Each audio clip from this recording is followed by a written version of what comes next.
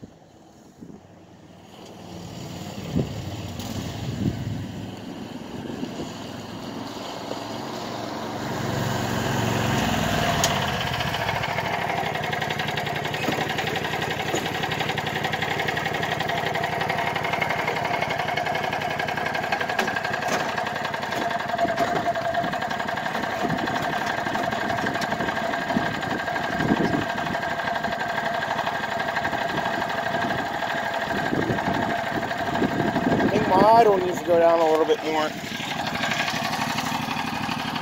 Nice and wet.